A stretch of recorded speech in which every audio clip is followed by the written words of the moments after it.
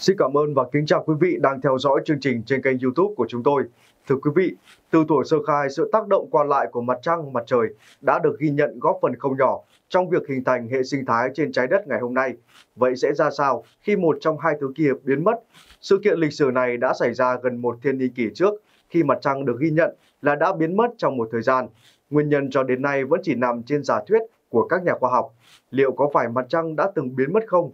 Nếu điều này là sự thật, thì bằng cách nào nó đã quay trở lại? Kính mời quý vị cùng tìm hiểu ngay sau đây. Mối quan hệ giữa trái đất, mặt trăng và mặt trời đã được ghi nhận từ thời sơ khai.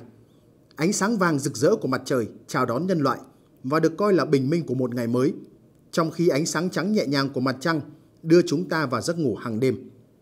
Nhưng sẽ làm sao nếu một ngày một trong hai thứ đó bỗng dưng biến mất? Điều gì sẽ xảy ra nếu ngày đó kéo dài vài tuần hoặc thậm chí vài tháng? Sự việc như vậy đã xảy ra gần một thiên niên kỷ trước, khi mặt trăng của trái đất biến mất khỏi tầm nhìn trong nhiều ngày của tháng 5, khoảng năm 1110. Bí ẩn vẫn chưa được giải đáp cho đến gần đây. Có người tin rằng sự biến mất của mặt trăng đơn giản là kết quả của hiện tượng huyệt thực. Tuy nhiên, sự thật lại không đơn giản như thế. Nhà thiên văn học người Anh George Frederick Chambers đã viết về sự kiện này trong cuốn sách xuất bản năm 1899 của ông, khoảng 800 năm sau khi nó xảy ra. Ông Chambers đã xác định ngày xảy ra hiện tượng mặt trăng biến mất là ngày 5 tháng 5, dưới thời trị vì của vua Henry I. Toàn bộ sự việc xảy ra trước nửa đêm. Ông Chambers viết, đây rõ ràng là một ví dụ của hiện tượng nguyệt thực đen, khi mặt trăng trở nên khá vô hình thay vì sáng lên màu đồng quen thuộc. Tìm ra nguyên nhân sự vắng mặt của mặt trăng đã trở thành một công trình nghiên cứu năm 2020 trên tạp chí Báo cáo Khoa học, dẫn đến một câu trả lời phức tạp hơn chúng ta tưởng. Các nhà khoa học từng phỏng đoán rằng một vụ phun trào núi lửa Hekla của Iceland chính là thủ phạm. Núi Hekla nằm ở giữa cực nam của Iceland, được người châu Âu gọi là cổng vào địa ngục trong thời Trung Cổ do các vụ phun trào thường xuyên của nó. Khi một vụ phun trào lớn xảy ra tại Hekla vào khoảng ngày 15 tháng 10 năm 1104, các hạt lưu huỳnh đã phóng vào bầu khí quyển. Trong nhiều năm, vụ việc này được cho là nguyên nhân đằng sau sự biến mất của mặt trăng nêu trên. Tuy nhiên, nghiên cứu mới nhất của một nhóm từ Đại học Geneva, Thụy Sĩ đã bắt đầu làm hé lộ một số thông tin mới. Để xem liệu vụ phun trào Hekla có phải là nguyên nhân duy nhất dẫn đến sự biến mất mặt trăng hay không, các nhà nghiên cứu đã phân tích các loại băng từ Iceland và Nam Cực và cuối cùng xác định rằng ngày phun trào Hekla không trùng với cột mốc thời gian 1104 mà muộn hơn vào năm 1110. Để tìm ra nguồn gốc thực sự, họ đã xem xét các ghi chép của thời Trung Cổ để tìm bất kỳ tài liệu nào liên quan đến nguyệt thực tối hoặc nhật thực đen. Sau nhiều thời gian tìm kiếm, nhóm đã tạo ra một bước đột phá với một đoạn từ biên niên sử Peter Brooks vào năm 1110. Mặt trăng đã bị dập tắt hoàn toàn đến mức không nhìn thấy ánh sáng, hình cầu hay bất cứ thứ gì khác.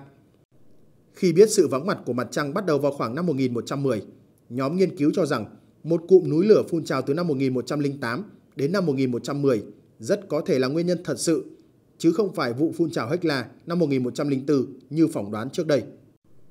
Một trong những phát hiện quan trọng liên quan đến vụ phun trào bị lãng quên diễn ra vào năm 1108 ở đảo Honshu, Nhật Bản.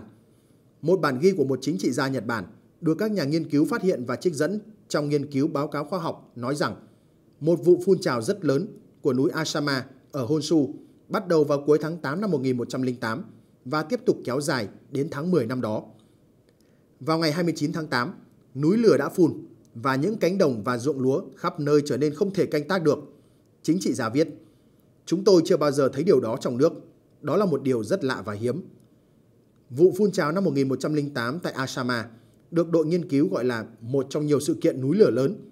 Lý giải cho lượng aerosol ở tầng bình lưu đủ để gây ra nguyệt thực tối Cần lưu ý rằng đây là hiện tượng khí hậu phạm vi toàn cầu mà thời trước khoa học chưa đủ sức ghi nhận và lý giải. Các vụ phun trào núi lửa từ năm 1108 đến năm 1110 đã dẫn đến một số tác động xã hội ở châu Âu, đặc biệt là trong nông nghiệp. Các nhà nghiên cứu cũng đã miêu tả vô số hiện tượng điều kiện thời tiết lạnh giá khắc nghiệt, mất mùa và đói kém.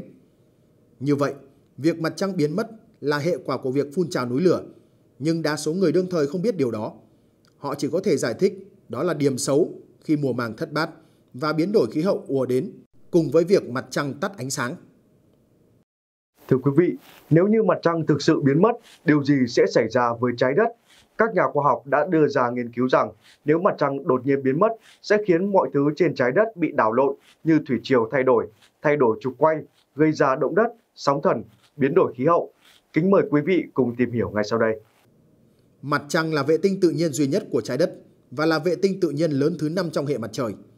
Khoảng cách trung bình tính từ tâm trái đất đến mặt trăng là 384.403 km, lớn hơn khoảng 30 lần đường kính của trái đất.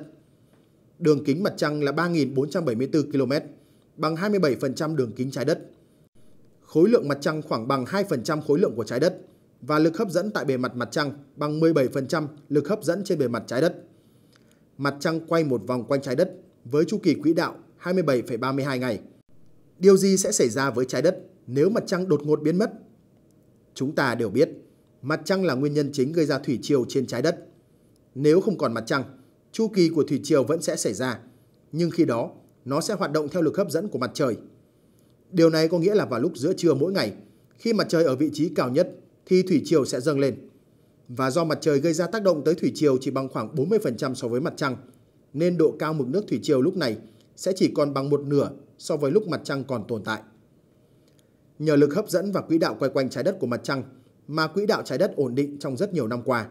Sự thay đổi là rất nhỏ, không đáng kể. Do vậy, nếu mặt trăng biến mất, quỹ đạo và cả chu kỳ tự quay quanh trục của trái đất sẽ bị mất ảnh hưởng. Điều này sẽ khiến khí hậu trên trái đất thay đổi theo hướng không thể lường trước, ảnh hưởng tới tập tục sống của các loài động vật và con người. Khi đó, nếu không thể thích nghi thì sinh vật trên trái đất sẽ không thể tiếp tục sinh tồn. Mặt trăng giúp trái đất quay quanh một trục nghiêng một cách ổn định. Nếu mặt trăng biến mất, trái đất sẽ luôn bị lắc lư, gây ra các biến đổi về địa chất, kéo theo nhiều vụ động đất cũng như núi lửa phun trào xảy ra. Sự ma sát thủy triều do mặt trăng gây ra có tác dụng giống như một chiếc phanh hãm tốc độ quay của trái đất. Nếu mặt trăng mất đi, theo tính toán của các nhà khoa học, trái đất sẽ quay nhanh hơn bây giờ tới 3 đến 4 lần. Nghĩa là khi đó, một ngày ở trái đất sẽ không kéo dài 24 tiếng, mà chỉ còn từ 6 đến 8 tiếng đồng hồ. Mỗi năm, chúng ta sẽ có khoảng 1.000 ngày. Mặc dù nghe có vẻ hay ho, điều này lại cực kỳ quan trọng vì nó có thể ảnh hưởng xấu đến rất nhiều khía cạnh. Gió sẽ mạnh hơn, bão sẽ lớn hơn. Hậu quả quan trọng nhất có lẽ là sự tiến hóa của sinh vật trên hành tinh của chúng ta sẽ bị ảnh hưởng nghiêm trọng. Với ngày và đêm diễn ra chỉ trong vòng vài giờ ngắn ngủi, không ai chắc chắn rằng cây cỏ và động vật có thể phát triển được hay thậm chí không thể tồn tại. Ban đầu trái đất nằm trên một trục thẳng đứng, theo như thuyết tạo thành mặt trăng đề cập ở trên. Khi thiên thạch khổng lồ đâm vào trái đất và tạo thành mặt trăng, nó làm cho trái đất sau đó nghiêng theo một góc 23,5 độ. Sau khi mặt trăng được hình thành, do lực hấp dẫn, nó làm cho trái đất luôn ổn định ở góc nghiêng này. Điều này lại vô cùng quan trọng vì đó là nguyên nhân giúp tạo ra các mùa và môi trường khác nhau trên trái đất.